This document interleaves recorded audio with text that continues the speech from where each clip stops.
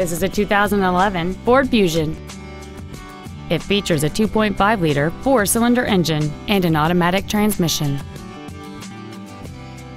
Its top features include Sirius satellite radio, a double wishbone independent front suspension, and traction control and stability control systems.